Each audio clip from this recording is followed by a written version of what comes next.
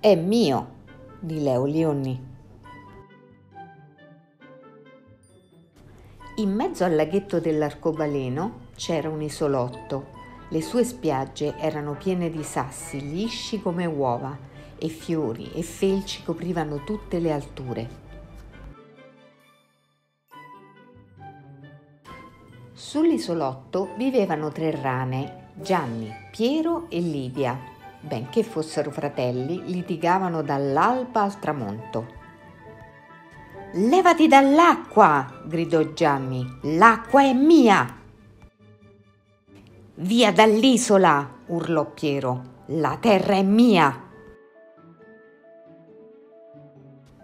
L'aria è mia! gridò Lidia mentre saltava in giro a caccia di farfalle. Un bel giorno un grosso rospo sbucò dai cespugli. Io vivo dall'altra parte dell'isola, disse, ma tutto il giorno non sento che gridare è mio, è mio, è mio. A causa dei vostri continui litigi non c'è più pace. Non si può vivere così. Un giorno ve ne pentirete. Detto questo, il rospo si girò e sparì come era venuto. Non appena se ne fu andato, Gianni corse via con un grosso verme in bocca. Gli altri lo rincorsero, gridando È mio! È mio! È mio! Ma Gianni con la bocca piena borbottò Questo no, è mio! A un tratto il cielo si oscurò e tuoni minacciosi circondarono l'isolotto.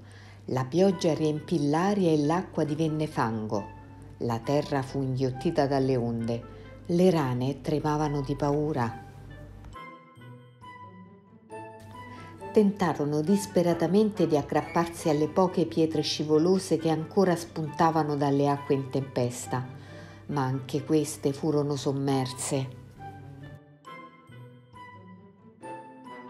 non rimase che un'unica roccia e su quella le tre rane si arrampicarono, tremando di freddo e di paura. Si tennero vicine vicine e così abbracciate, accomunate dalle stesse paure e dalle stesse speranze, si sentirono più tranquilli. Poco a poco le acque calarono, la pioggia si fece più rada e poi finì del tutto. Solo allora scoprirono che la grande pietra sulla quale si erano arrampicate non era affatto una pietra, era niente di meno che il rospo. Ci hai salvate! gridarono tutte insieme. Il mattino dopo l'acqua era di nuovo limpida. Sul fondo del lago il sole rincorreva i pesciolini d'argento. Piene di gioia, le rane si tuffarono e insieme nuotarono tutti intorno all'isola.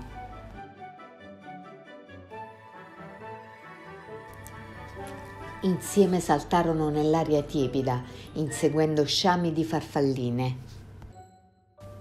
Più tardi, mentre si riposavano al fresco di un'altura erbosa, si sentirono felici come non mai che pace, disse Gianni, e che bellezza, disse Piero.